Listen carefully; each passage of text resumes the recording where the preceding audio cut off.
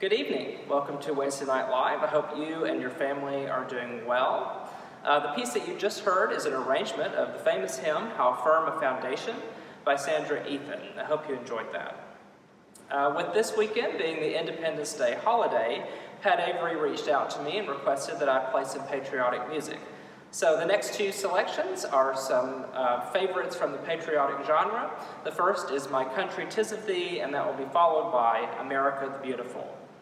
I wish you and your family a safe and happy Independence Day holiday weekend.